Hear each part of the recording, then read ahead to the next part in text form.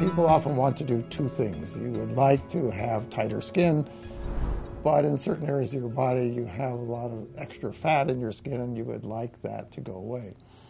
And again, if one is looking for a non invasive procedure, the Exilis procedure makes it so that the fat contents from the cell go out into your system and the body gets rid of them. So they actually turn like from grapes into raisins. Uh, at the same time it does that, it actually causes your skin to tighten so that when you're in an area where you're losing volume because the fat's decreasing, you don't want to necessarily have extra skin, so it's nice if you can tighten it at the same time.